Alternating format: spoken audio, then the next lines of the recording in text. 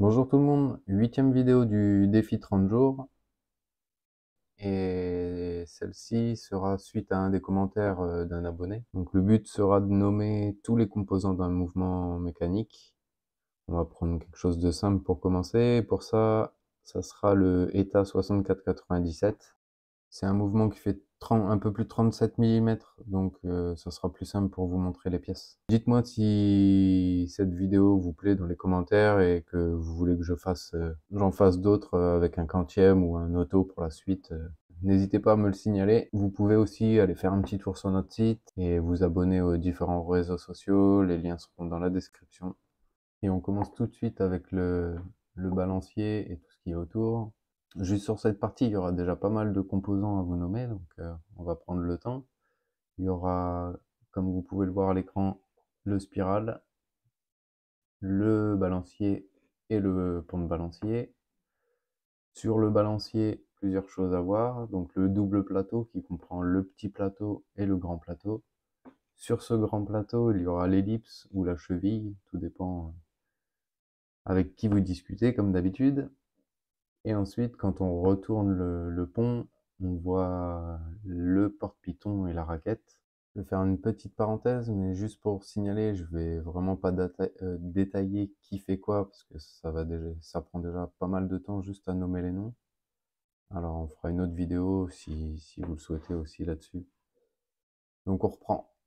On zoome un peu et on voit que sur la raquette, il y a les goupilles ou clés de raquette ça dépend les mouvements, ça dépend la conception. Et sur le porte-piton, il y aura le piton. Ensuite, je vous montre le bloc amortisseur qui se trouve sur le, à la fois sur le coq et sur la platine, avec différentes formes de, de lyre aussi. Donc là, on a sorti les deux pierres et on va encore détailler avec une première partie qu'on appelle le chaton. C'est une petite pierre qui est dans une, une bague en métal. Au-dessus, on mettra le contre-pivot un côté bombé un côté plat. Et pour verrouiller les deux pierres, il y aura la lyre. On passe au suivant avec le pont, le pont d'encre et l'encre, sur laquelle on retrouve deux palettes en rubis, une d'entrée et une de sortie. À l'arrière, on a les, la fourchette avec les cornes et le dard qu'on voit ici. La suite, c'est la partie rouage, donc le pont de rouage qu'on enlève et vous voyez la roue d'échappement avec sa denture un peu particulière, suivi du mobile de seconde, avec le petit axe sur, ce mouvement, on vient même y chasser l'aiguille des secondes, le mobile de moyenne et le mobile de centre ou grande moyenne, suivant où il se situe. Ici, il est au centre, donc ça sera mobile de centre. On poursuit avec les éléments du pont de Barrier Ici, ça sera la roue de couronne avec sa bague, suivi du rocher. On voit le, trou carré. Et on finit par le cliquet d'armage. C'est cette petite pièce-là. Sous ce cliquet, on trouvera un petit ressort qu'on appelle le ressort de cliquet tout simplement. Et voilà le pont de barillet. Sous le pont de barillet, il y a le barillet on va aussi détailler. On le voit vu de dessus avec la partie carrée, euh, le centre. Voilà, on le voit un peu mieux ici. Là où on vient mettre le rocher. Dans le barillet, il y a un ressort, donc je vous ai mis un ressort, un barillet avec un ressort monté et un à l'extérieur pour que vous vous rendiez compte. Et on va passer au côté cadran. Et n'oubliez pas le pouce bleu.